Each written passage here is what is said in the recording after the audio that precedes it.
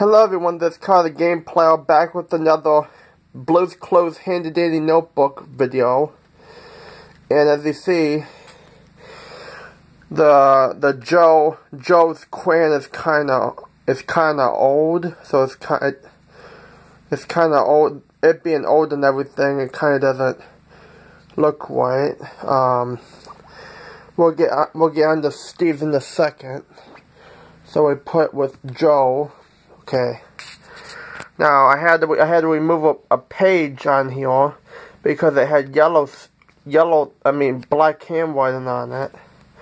Let me get this open. As you see, it says this notebook. This notebook is Handy Dandy notebook. Should probably put my name on there. You see the pages are perfect.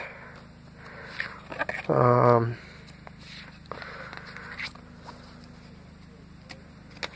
then uh, as you can see I got some some pages of stock. There's the other ones.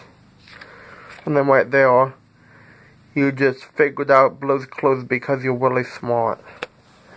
Now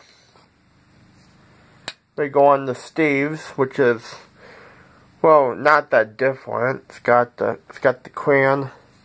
It's got the green crayon as you see, all the pages are plastic. Um, this this notebook came out in 1998, the year I was born. You see, this notebook belongs to.